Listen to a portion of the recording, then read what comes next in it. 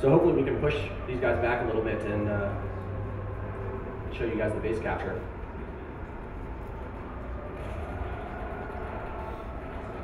That's the signal for them to let us push up.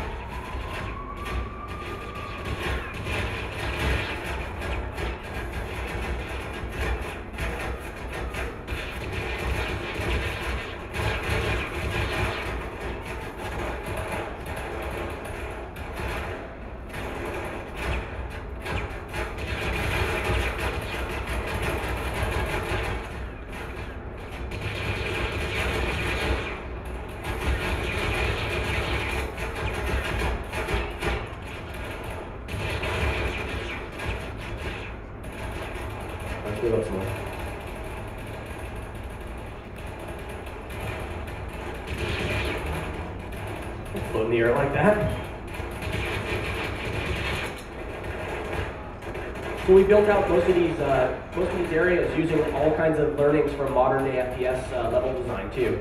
So we have these, as uh, Josh mentioned earlier, really handcrafted areas rather than just having a large, uh, you know, height field that doesn't really have any kind of interesting gameplay areas in it. Um, every square inch of our map is designed with gameplay in mind, and all of it will be play tested, and all of it will support just different types of gameplay.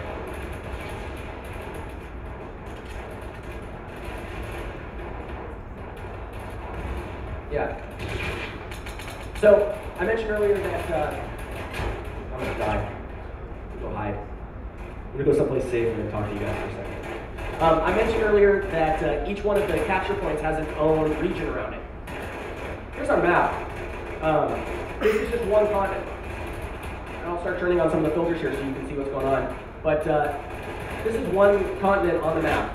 We started off roughly here, and uh, we were fighting around here in that air battle, and then we drove down here. So throughout the course of the demo so far, you guys have seen about, I don't know, 1 20th of the entire map. And uh, you guys will notice that each one of these regions that gets highlighted, these areas can all be owned by the different empires. They're color coded based on the empire that owns them currently. Um, we're fighting over this one in particular.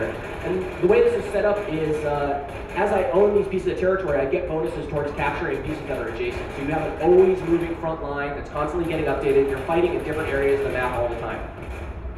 Again, you're fighting over the resources too. So you'll be looking at that map and figuring out what type of resources that you need, um, what type of resources you want to deny your enemy. I'm a light assault character, so I can actually drop my own ammo.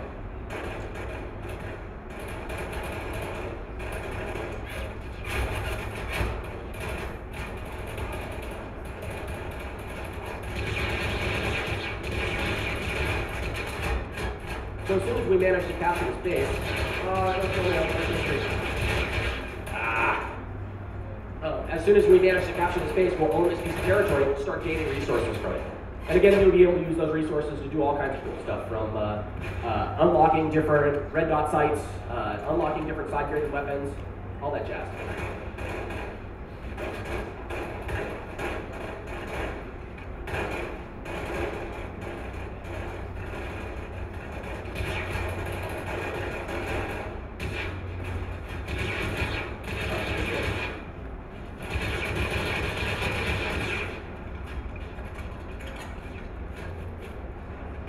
Facility capture. Oh, we got it.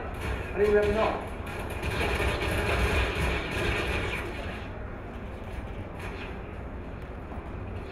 So here you can see our indoor uh, environments.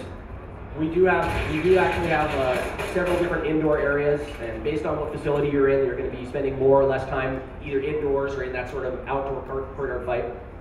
Um, I want to go through a couple of the screens in the UI with you and show you guys off some of the really unique stuff that we're uh, we're doing with the game. First off, we have a profile screen. Um, this is fairly normal, uh, but our screen, we actually surface a whole bunch of really cool stats.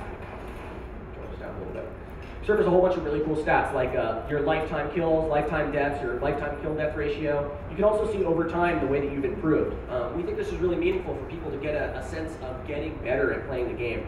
So I can see that over the last week or so, as we've been practicing the demo, I've actually gotten a little bit better and I've started having uh, more kills, uh, I guess my kill death ratio today is not that good because I kept crashing into the trees earlier.